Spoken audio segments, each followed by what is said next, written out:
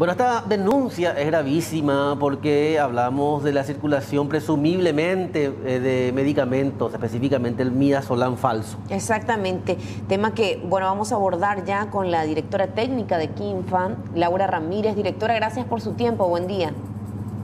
Al buen día, ¿cómo estás Alexi? ¿Cómo estás Sol? Muy bien, bueno, eh, queremos ahondar en detalles con respecto a esta situación preocupante, la verdad, directora.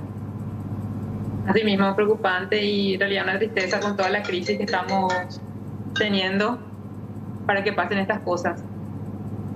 ¿Cómo uno puede percatarse, yendo a lo básico, doctora, eh, de que está adquiriendo un medicamento falsificado y específicamente esta droga?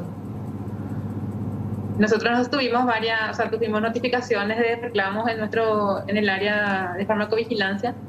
Entonces ahí pudimos nosotros detectar eh, durante una investigación eh, cuáles eran las eh, las diferencias de nuestro producto original que tenemos en contramuestra con lo que se estaba comercializando en Ciudad del Este. Entonces, a raíz de eso sale el comunicado eh, que se viene en las redes y en los, distintos canales, vamos a decir, eh, sobre todo en las etiquetas. como ya indiqué, el Sedancor con su marca de registrada que no tiene el falsificado este lote fue es fabricado exclusivamente para el IPS, entonces no debería estar comercializándose en tanto ni en farmacias ni en hospitales privados, no, debería de haber. Eh, y eso es básicamente lo que nosotros nos alertó para que podamos sacar este comunicado. Veíamos y también estaba teniendo una solución blanquecina. Veamos unos detalles bastante específicos como eh, las letras, los detalles, y es que nos puede explicar eso así la gente, obviamente, eh, al acceder a esto, se, se, percata de ese detalle. Claro, eh, tener en cuenta sobre todo que todos los medicamentos deben ser comprados por farmacias habilitadas. En el caso de que, como ya hay una alerta, verificar la etiqueta y tener en cuenta estos puntos que nosotros sacamos en, en los comunicados que el Sedan Core original tiene una R en la parte final de la marca registrada, el activo está escrito de manera correcta, es con M y no con N, como está en el producto especificado, y el uso exclusivo del IPS. Como le indiqué, este, este lote no debería estar comercializándose. Y como, como verán, en el, el, el producto que se está comercializando no tiene luego uso exclusivo. Doctora, ¿se tiene conocimiento de que esta droga pudo haberse suministrado a algún paciente?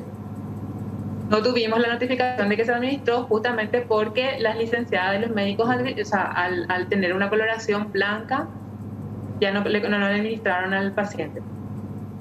Y eso me indicaron ellos que lo triste era eso, que ellos se van y le piden, o, le, le dan la receta para que vuelvan a comprar otros, otros productos para colocarla a su paciente. Eh, ¿Estas denuncias se registraron en el este del país, en otros puntos también?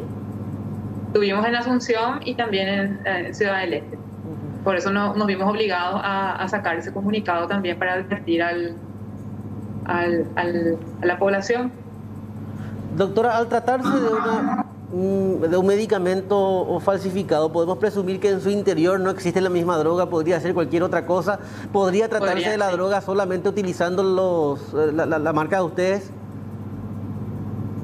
Eso puede, ser, o sea, no, no estamos seguros qué tiene adentro el producto, pero eh, nuestro producto es estable, es una solución incolora, no presenta la solución blanquecina que estaban que se estaban quejando. Entonces, eh, eso nosotros aseguramos que nuestro producto sí está bien.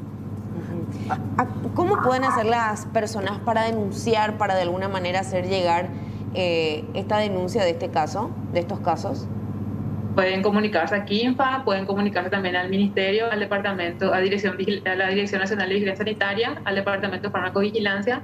Ellos sí o sí nos comunican a nosotros y, eh, o las redes de KINFA. en el comunicado pusimos luego los números, los correos para que por favor necesitamos que nos informen toda notificación es importante para nosotros. Doctora, gracias a eso se detectan estas cosas. ¿Estas muestras serán sometidas a un análisis, una inspección? Sí, claro que sí.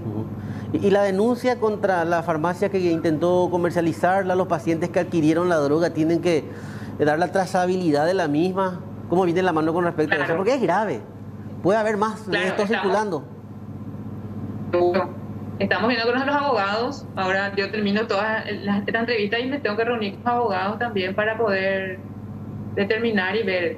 Ya estamos también detrás de las muestras que están en Ciudad del Este. Y obviamente nosotros igual, de todos modos, por seguridad, nosotros enviamos nuestro producto a un laboratorio oficial autorizado por el ministerio. El producto se encuentra de forma correcta. Pero sí, una vez que tengamos nosotros la muestra física, vamos a enviar a analizar. Directora, bueno, vamos a estar pendientes. Sí, eh, una consulta más, directora. Ya hay una intervención de la Fiscalía, suponemos que la de marcas, pero también una cuestión sanitaria de por medio. No, no, sí, perdón. Nosotros ya comunicamos a Vigilancia Sanitaria, comunicamos también a la Senado y también ya estamos con, en trámites para la Fiscalía. Bueno, directora, estaremos pendientes a cuáles son las novedades con los estudios y bueno, y el seguimiento de este caso que registramos muy delicado y le pedimos a la ciudadanía estar en alerta.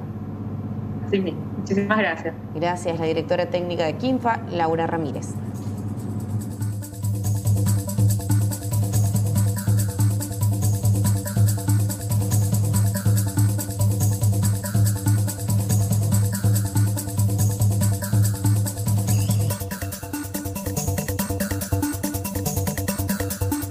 Bueno, cambiamos radicalmente.